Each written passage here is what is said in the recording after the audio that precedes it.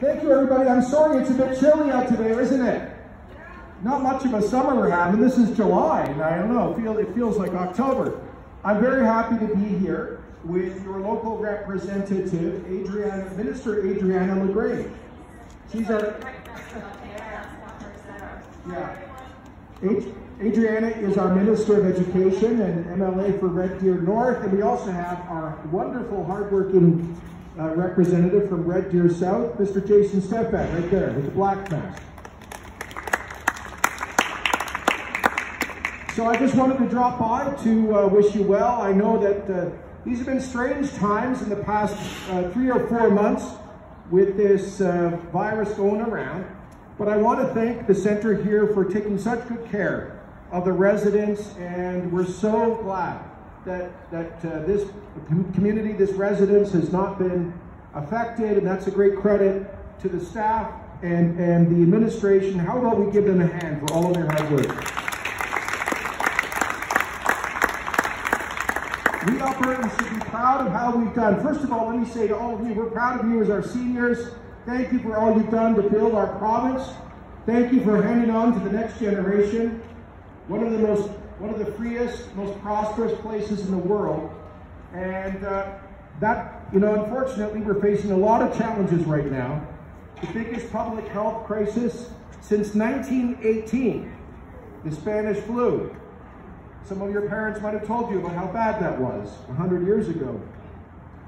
We've also had the worst decline in the world's economy since the Great Depression, uh, 90 years ago and we've had the worst decline in our energy prices, hurting us here in Alberta.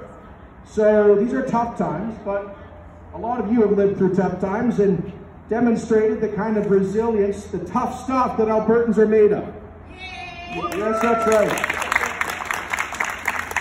You know, there's a great country singer. He's a fifth generation Alberta ranch boy from around uh, Bonnyville named Brett Kissel, and he has a song. He says that tough times don't last, but tough people do. And we're going to get through it. Yes, ma'am. And, oh, so, anyway, I wanted to say we should be proud of how we've got through this pandemic. We've had, in a relative way, lower infections and hospitalizations than pretty near anywhere in the Western world. And we've done it while keeping most of our economy functioning, but now we really need to get it back for the young people so they have a future. And that's what we're working on. Because we need a strong economy to support our healthcare, support our seniors, support those uh, edu education, and support all of our social services. Um, so I just wanted to drop by to thank you all for being uh, uh, pioneers in your own way, for being builders, and for um, just to say we, we, we love our seniors in Alberta. We respect you. We want, we want to make sure you all continue to enjoy uh, a active and healthy life here at this center. Um, by the way, some of you may be of a vintage that you may know or remember my grandpa. His name was Mart Kenney, the big band leader. Mart Kenney and his Western Gentlemen. Does anybody remember that music back in the day? He was on the CBC for about 30 years. So uh, I know a lot of seniors who, who met their, their sweethearts dancing to his music back in the day. So I want to say thank you again for welcoming us. Uh, Adrian, would you like to say a few words? Uh, thank you so much, Premier, for coming. And I, again, I just want to echo the fact that, oh, sorry, so hard to use these things with the masks and everything. I don't know. I, I, you're probably like me. It's not natural. But uh, I, I really appreciate the fact that you're all uh, doing your part to, to keep COVID down. It, it's difficult, it's not easy. I know it's hard not to see your loved ones. I know how hard it is. Um, and, and we just want you to know that we take this very, very seriously. We take your health very, very seriously. We know that uh, the good people here are looking after you, doing their best, and we really appreciate how we're coming together as a community as a people, as mankind, to fight this pandemic. And so thank you so much. I'm sorry that you had to suffer through some of this, this uh, the, the different restrictions with the masks and the, and the isolation. But you know what? At the end of the day, we're, we're beating the curve, and that's so, so very important. just, uh, I look forward to an opportunity in the future to come and visit one-on-one and uh, hear your concerns, hear what you'd like us to do better. Because I'm sure some of you, do any of you have ideas on how we can do things better?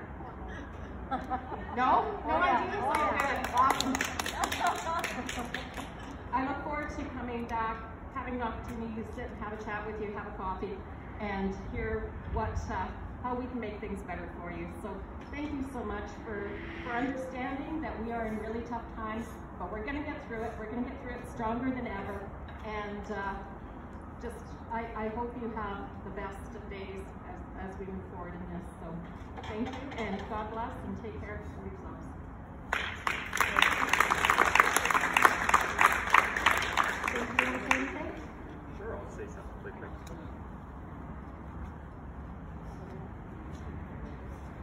Uh, just looking up at each and every one of you, I, um, I feel a lot of love. We uh, love and care about you in these challenging times. We appreciate the example that uh, you have set for uh, chil- your children and for all Albertans. And uh, the inheritance that we have benefited from, the legacy of the hard work, the sacrifices you've made, the love and service you've provided into our in our communities, and uh, we appreciate the strength that you've demonstrated that we can all draw on to be better. Anyways, it's just great seeing you today, and have a great day. Thank you very much, ladies and gentlemen. We're glad you could make it out onto the balcony. What's our time now? We good? We Good.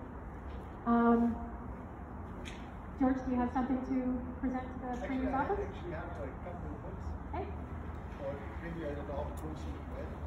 Um, just so that we won't, uh, good morning everybody. Um, I have a couple of even yearbooks for our premier for his uh, coffee table at the office, and uh, I would just like to thank everybody for showing up and coming onto the balcony to greet us and, and our premier and uh,